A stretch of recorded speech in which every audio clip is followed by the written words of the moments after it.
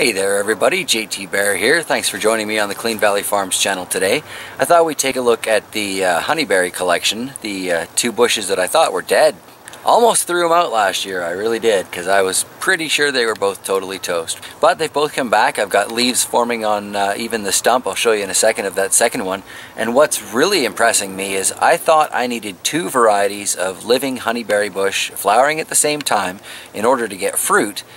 But I think I'm getting fruit off of this uh, first one anyway. And I've got a little added bonus to throw in at the end of this that kind of explains why there's a new playlist and a new title for it.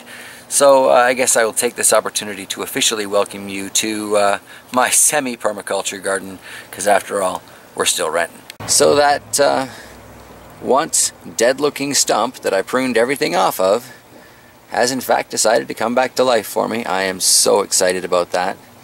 This would be uh, the Haskap berries, I believe. The tag is in the greenhouse on the cuttings. But here is the Polar Jewel, clearly doing quite nicely.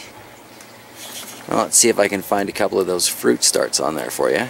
Sorry about the garbage truck, turned the corner just as I found it, but there it is. That is the beginning of a honeyberry, and there are quite a few of them here. Some more in there, some more along there. So as the season progresses, we'll uh, finally get a chance to see what these look and taste like. Very excited. So far, that's pretty much all I've seen. So we found this today, $20, good garden investment.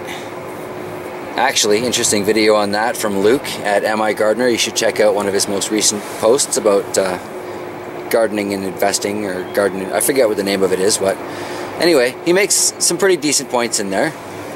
Who knows what this is? I know what this is because I checked out the tag, but this is an incredibly interesting leaf, even if it never produces fruit. But in theory,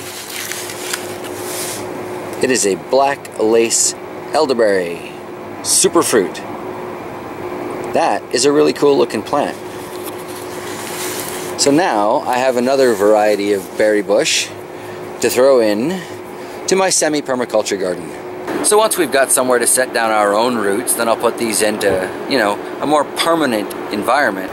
Alright, well, until then, I guess I'm going to have a whole bunch of uh, various fruiting bushes and small trees growing in assorted containers. So be it, gives me lots of opportunities to check out air pruning and wicking and all kinds of fun stuff.